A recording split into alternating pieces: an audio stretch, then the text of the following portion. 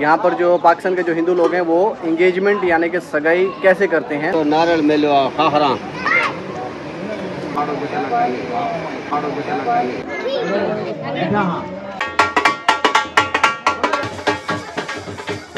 जो हमारे दूल्हे साहब हैं ये पीछे खड़े हैं इनसे भी आपको मिलवाता हूँ। तो अभी ये इनसे पूछ लेते हैं कि भाई आपको कैसा लग रहा है?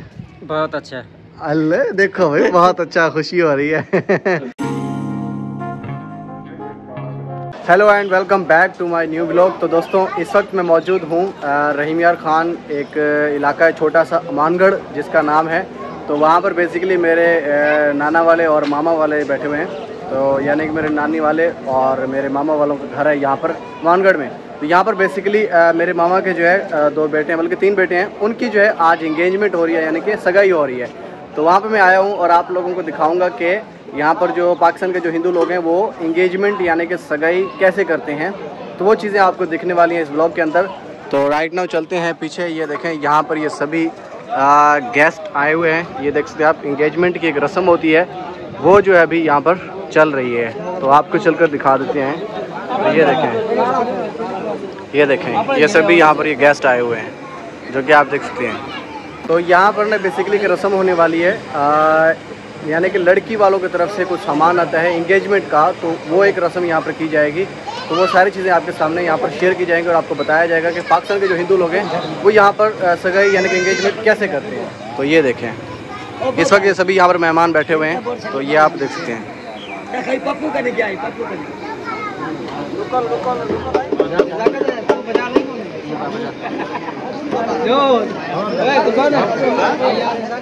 और दोस्तों यहाँ पर इस बैग में ये लड़के का सामान है जो कि लड़की वालों की तरफ़ से आता है जिसकी मैं बात कर रहा था। तो ये वही सामान है इसके अंदर डिफरेंट टाइप के चीज़ें होती हैं जैसे कि लड़के का आ, सूट हो गया यानी कि ड्रेस हो गई कपड़े हो गए और जूता हो गया। और ये जो आप देख रहे हैं ये नारियल है। नारियल को अच्छे से सिंगारा हुआ है यानी कि इसको अच्छे से सजाया हुआ है। और इसके ऊपर एक नोट भी लगा हुआ है सौ रुपए का। और ये जो लड़ी आप देख रहे हैं, इस लड़ी के अंदर डिफरेंट चीज़ें होती हैं, जिनको सिंगार के अच्छे से सजा के इनको बनाई जाती है ये लड़ी, जिसके अंदर माचिस की डिब्बी होती है। और मतलब बहुत सारी चीज़ें होती हैं वो क्या क्या चीज़ें थी मुझे नहीं मालूम, लेकिन बहुत सारी चीज़ें होती है इसके अंदर, वो बना के डिज़ाइन करके इसके अंदर बनाई जाती है, ठीक है? और यहाँ पर ये एक ऊपर ये कपड़ा बंधा हुआ है, जिस कपड़े के ऊपर फूल बना हुआ है तो इस कढ़ाई के अंदर बेसिकली हमारी ज़ुबान में जो है, उसको कसार बोला जाता है, यानी कि वो गेहूँ के आटे की और इसमें चीनी डाल के और घी डाल के बनाई जाती है, मीठी बनती है। तो उसको हम कसार बोलते हैं। तो ये वो है कढ़ाई के अंदर, ठीक है? बाकी ये सारे गेस्ट हैं, यहाँ पर बैठे हुए हैं, जो कि आप देख सकते हैं।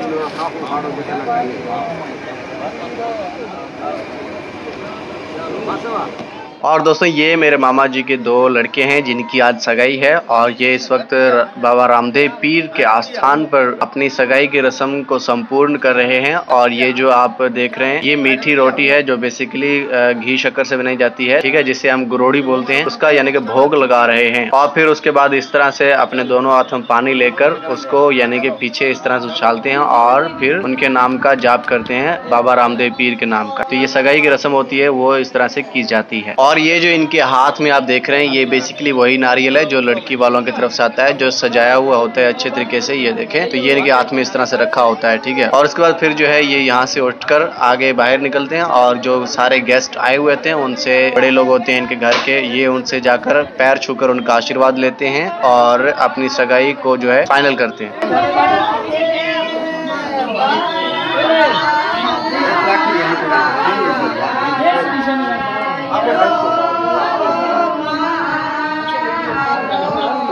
तो इसी तरह दोस्तों ये देखें, ये अपने बड़ों से मिलते हैं और उनका आशीर्वाद लेते हैं और फिर अपने दोस्तों से भी मिलते हैं, मुलाकात करते हैं, ठीक है, और एक दूसरे को फिर बधाई देते हैं। तो इसी तरह से ये सारी रस्में फाइनल होती हैं और अभी एक और मेरे मामा जी के बेटे हैं, उनकी भी सगाई है। यानी कि इन तीनों के एक जगह पे ही साथ ही सगाई की जा रही है। तो वो भी आपको चलकर दिखाते हैं। जैसे सेम इनकी रस्में हुई है, वैसे ही उनकी भी रस्में होने वाले हैं, वो भी आपको चलकर अभी दिखाते हैं।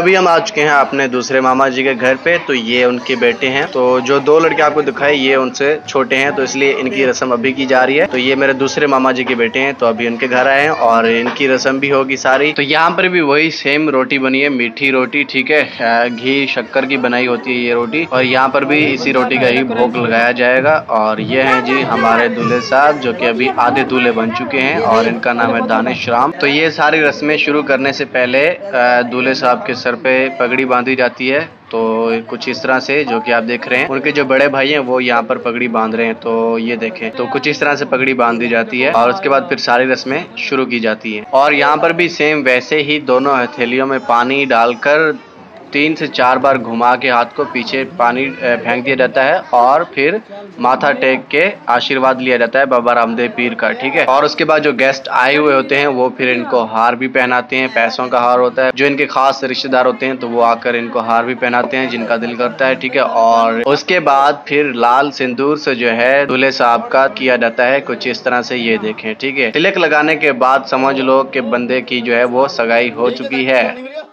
फिर ये सारी रस्में करने के बाद दूल्हे साहब खड़े हो जाते हैं फ़ोटोशूट के लिए। सभी लोग आते हैं, उनके साथ फ़ोटोशूट करते हैं, उनको प्यार देते हैं, उनको आशीर्वाद देते हैं तो दूल्हे साहब भी बिल्कुल फिट सीधे खड़े हो जाते हैं। वही नारियल दोनों हाथों में पकड़ा होता है, जो लड़की वालों की तरफ़ से आता है। उसके बाद जी ढोल बजता है, नगारे होते हैं और सभी लोग नाचते हैं, गाते हैं इंजॉय करते हैं और बहुत खुशियाँ मनाते हैं। तो कुछ इस तरह से जी पाकिस्तान के हिंदू लोग अपनी सगाई करते हैं और उसकी रस्में जितनी भी चीज़ें थी जो पॉसिबल हो सकी, मैंने आपके साथ शेयर की और जितना मुझे पता था, वो सारी चीज़ें मैंने आपको बताई कि क्या क्या चीज़ें होती हैं कैसे कैसे होती हैं, उनके नाम तो अभी चलते हैं डांस की तरफ़ और आपको भी इंजॉय कराते हैं।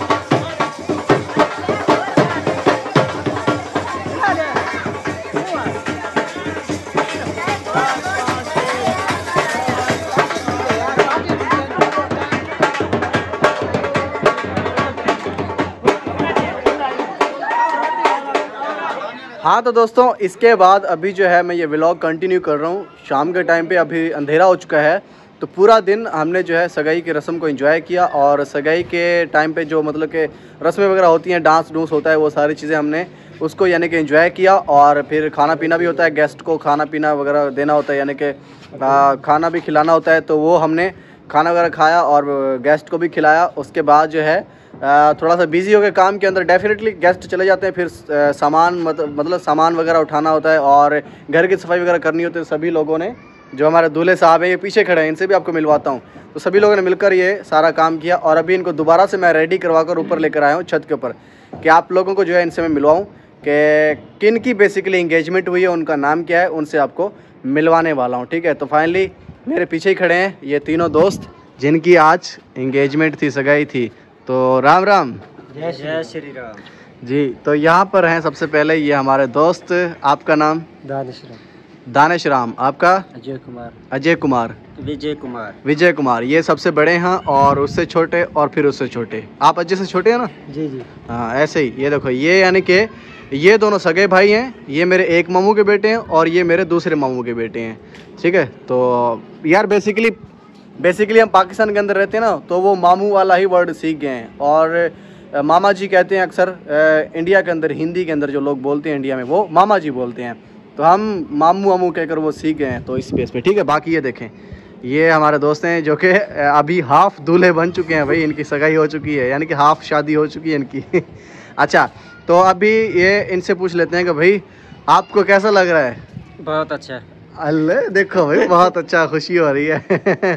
और ये हमारे दोस्त, आपको भी अच्छा लग रहा होगा। डेफिनेटली यार, जब इंगेजमेंट होती है, मेरी भी इंगेजमेंट हुई थी और फिर शादी हुई तो वो तो एक अलग ही खुशी होती है, क्योंकि आप एक लाइफ का अलग से एक और स्टेप स्टार्ट करने जा रहे होते हैं। आप अपनी लाइफ एक और नई लाइफ यानी कि स्टार्ट करने जा रहे होते हैं। तो डेफिनेटली खुशी होती है।